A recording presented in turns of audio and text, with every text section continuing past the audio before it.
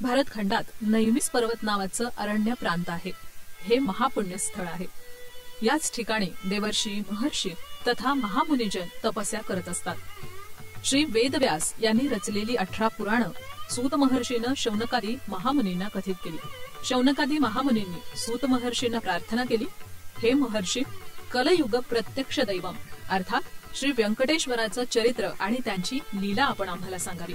सूत महर्षीनं मुनिजनांची प्रार्थना स्वीकार करून श्री व्यंकटेश्वर अर्थात बालाजी यांची लीला महिमा सांगायला सुरुवात केली.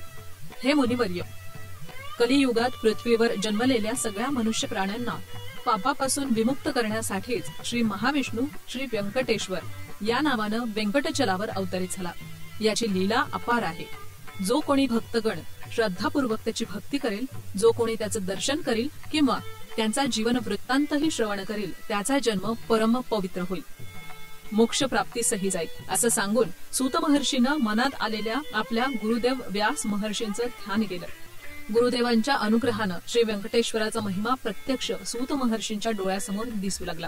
त्या आधारे सूत महर्षींनी शौनकादी मुनींना श्री व्यंकटेश्वराचं महात्म्य सांगायला सुरुवात केली. नारद महर्षी ब्रह्मदेवाचा पुत्र. नेहमी हरिनाम करत फिरत राहणं हा त्यांचा स्वभाव.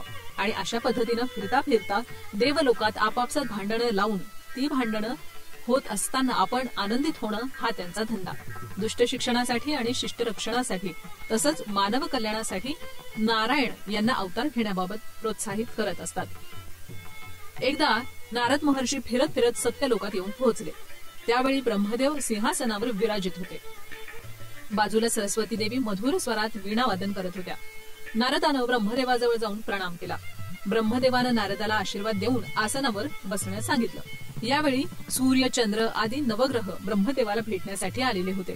त्रिलोक संचारी नारदाला पाहून सर्व देवता नारदाकडून त्रिलोक समाचार ऐकण्यास उत्सुक झाले. ब्रह्मदेवाला पाहून नारद म्हणाले हे पितृदेवा द्वापार युगात श्रीकृष्णाचा अवतार घेतल्यानंतर ईश्वरानं कलियुगात अद्यापी अवतार धारण केलेला नाही. त्यामुळे कलियुगात मनुष्य प्राणी अज्ञानी होऊन खरा धर्म विसरून अधर्माचे स्वाधीन होऊन पापकांडात पडत आहेत त्यांच्या संरक्षणार्थ आपण मार्ग दाखवा. नारदाचं मनोगत ऐकून ब्रह्मदेव म्हणाले हे नारदा तू त्रिलोक संचार करणार आहे. मानव कल्याणासाठी कुठले उपाय करायला हवेत हे तू सुद्धा जाणतो. आणि नुसत्या संकल्प मात्रानं कितीतरी महान कार्य तुम्ही केलेली आहेत. तूच असा कोणता तरी उपाय शोधून काढ की ज्यानं मानव कल्याणासाठी श्री महाविष्णू अवतार धारण करतील. त्यामुळे तुझी कीर्ती पाहून कलियुगात असलेल्या व्यक्तींचा उद्धारही होईल. ब्रह्मदेवाचं बोलणं ऐकून मनात विचार करत तो तेथून निघून गेला. नारद महर्षी हरिनाम स्मरण करत भूलोकात गंगा नदीच्या तीरी येऊन पोहोचले. गंगा नदीच्या तीरावर कश्यप महामुनी आणि इतरही लोकांनी लोककल्याणार्थ महायज्ञ सुरू केला होता. नारद महर्षी तिथे जाऊन महायज्ञ करत असलेल्या महामुनींना पाहून संतुष्ट झाले. महामुनींनी नारदाचं येणं पाहून त्यांचा आदर केला. मुनी लोक आपण करत असलेल्या महायज्ञाविषयी नारदाला खुलासा करून सांगू लागले. नारद परमानंदित झाला. पण त्याला शंका येऊन तो म्हणाला हे मुनिवर्य आपण लोककल्याणार्थ महायज्ञ करत आहात. हे चांगलंच आहे. पण या यज्ञाचा फलभोक्ता कोण आहे? त्रिमूर्तीपैकी कोणाला या यज्ञाचं फल देता येईल? मुनींच्या तोंडातून कुठलेही शब्द यावेळी निघाले नाहीत. आपापसात विचार करत नारदाकडे ते पाहू लागले.